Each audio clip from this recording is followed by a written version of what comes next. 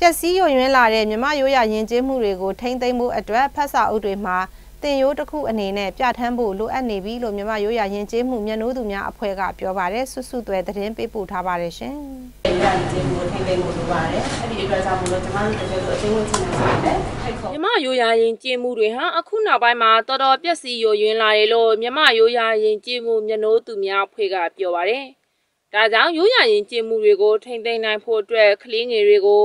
ငေစဉ်ကလေးကနေတင်ပြနိုင်ဖို့ကိုဖက်ဆောင်အုပ်တွေမှာတင်ရိုးတစ်ခုအနေနဲ့ပြထမ်းဖို့လိုတယ်လို့ဆိုပါတယ်ဒီတန်ခါနဲ့လူနဲ့တန်းညှိလာတာတို့ဟိုလူကြီးနဲ့လူကြီးသူမနဲ့လူငယ်နဲ့တန်းညှိလာတာတို့တန်းညှိလာတဲ့ဆိုတဲ့အချိန်မှာလဲဒါတွန်းတင်လာတဲ့အတိုင်းအဝိုင်းနဲ့မိသားစုတွေပေါ်မှာလဲအရေးကြီးပါတယ်ဟိုလူကြီးရှေ့ခေါင်းညှက်စရာမလိုဘူးဆိုတဲ့အချိန်မှာသူတို့ကငယ်တုန်းတော့လူကြီးရှေ့ခေါင်းညှက်စရာမလိုဘူးဆိုတော့သူတို့ကခလေးပီပီကော့ကော့ကြီးသွားလိုက်တာမသိတာပဲမယ်ကြီးလာတဲ့အခါကျတော့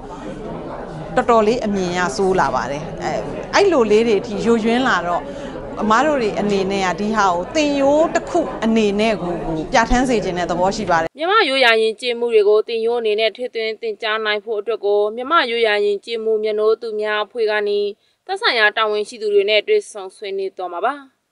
မြမရိုးရာရင်ကျင်းမှုမျက်နှိုးသူများအဖွဲ့ကိုတော့မြမရိုးရာရင်ကျင်းမှုရိုးရာဒလေတွေကိုလူတွေကြည်ကြည်ပြည့်ပြည့်သိရှိပြီးထိမ့်သိမ်းဆောက်ရှောက်လာဖို့နဲ့ မြမယဉ်ကျေးမှုဒလိထုံးစံတွေအပေါ်မရင်းနှီးတဲ့အတိုင်းဝိုင်းတွေကိုမြမယဉ်ကျေးမှုတွေကိုမိတ်ဆက်ပေးဖို့အတွက်2019ခုနှစ်ကနေစတင်ဖွဲ့စည်းထားတာဖြစ်ပါတယ်။လက်ရှိမှာတော့အဲ့ဒီအဖွဲ့အနေနဲ့ဇီဒီပထိုးတွေရဲ့ယဉ်ကျေးမှုတိဆောက်ရေးရှင်းဟောင်းပိုင်းဆိုင်ရာထိမ့်သိမ်းမှုတွေကိုလှုပ်ဆောင်နေတာဖြစ်ပါတယ်။ကဏ္ဍစုံမှာယဉ်ကျေးမှုအားနည်းတဲ့အပိုင်းတွေကိုကျွန်တော်တို့တတ်နိုင်တဲ့အပိုင်းတွေလုပ်သွားမယ်။ချိုးကြောက်လဲကာလလိုက်အလိုက်ပေါ့နော်။ပုံမှန်ပုံမှန်တုံးနေမှာတော့ကျွန်တော်ကယဉ်ကျေးမှုတွေကို ပြန့်နှံ့ပြီးတော့အားနည်းတဲ့ဒေတာတွေကိုလုပ်မယ်အားနည်းတဲ့ဖွဲ့စည်းတွေကိုဓာတ်ရိုက်ခုနပြောတဲ့ကျွန်တော်တင်းမျိုးလိုဟာမျိုးတွေပို့ပြီးတော့ကြံ့ကြံ့ပေးခြင်းပါတယ်ဒါမျိုးဆက်လုပ်ဖို့တော့မဖြစ်မနေဒါလမ်းကြောင်းရှိတာပါတယ်ခင်ဗျမြမယူရရင်ကျင်းမှုမျက်နှိုးသူများအဖွဲ့မှာတော့အဖွဲ့ဝင်ဥယေ30ခန့်ရှိပြီးအဖွဲ့ဝင်တွေထပ်မံတိုးပေါ်လာဖို့အတွက်ကိုပြည်내နဲ့တိုင်းဒေသကြီးတွေကိုတွားရောက်ပြီးဟောပြောပွဲတွေလှုပ်ဆောင်ကစေယုံတော်မေလို့ဆိုပါတယ်